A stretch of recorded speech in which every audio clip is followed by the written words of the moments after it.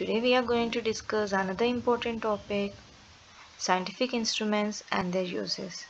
Friends, if you are preparing for any teaching exam like CTET, State TET, KVS, APS or any teaching exam or any competitive exam then we can expect at least one mark from this topic.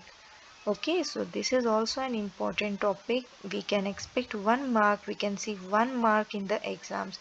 So today in this video we are going to discuss 15 scientific instruments and their uses before that we will see the answer for viewers question which was asked in previous video which device is used to measure blood pressure and the answer is option D sphygmomanometer okay which device is used to measure blood pressure or BP? So answer is sphygmomanometer. It is called sphygmomanometer. First is anemometer and let's see its uses and this is its picture. This is the anemometer. This is how it looks like. So anemometer is used to measure force and velocity of wind.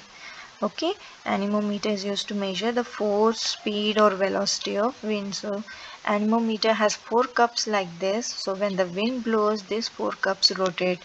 So number of rotations are counted to measure the force and velocity of the wind.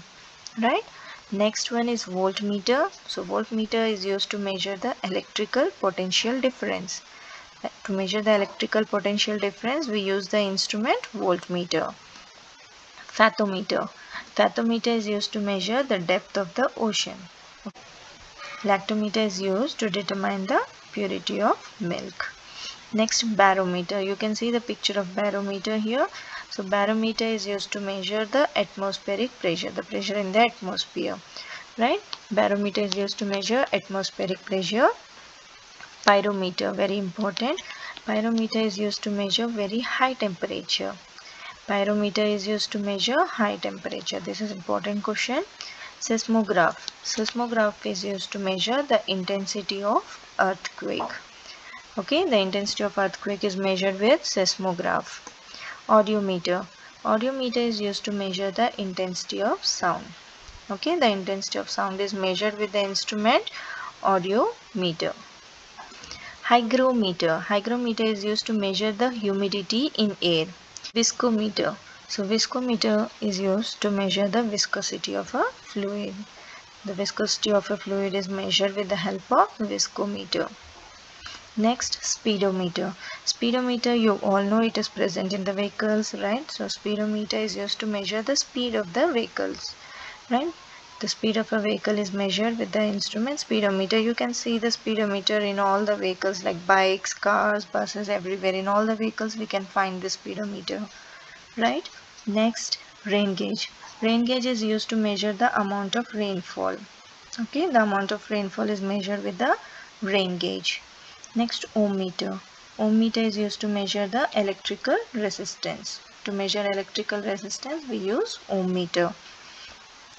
Magnetometer. Magnetometer is used to measure the strength of magnetic field.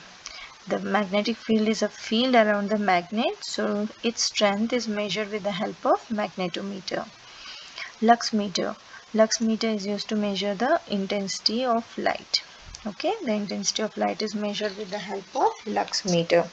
Okay friends, so here we are done with all the 15 scientific instruments and their uses. Okay now it's time for viewers question. So let's have a look and it's your turn. So please keep your fingers on the keyboard and get ready to answer which instrument is used to measure the heat of chemical reactions. Option a caliper option b colorimeter option c calorimeter or option d compass so quickly guess and comment your answer and that's all for today Thanks for watching my video. I hope you liked it. If you like it, please do subscribe to my channel Teaching Exam Preparation Zone.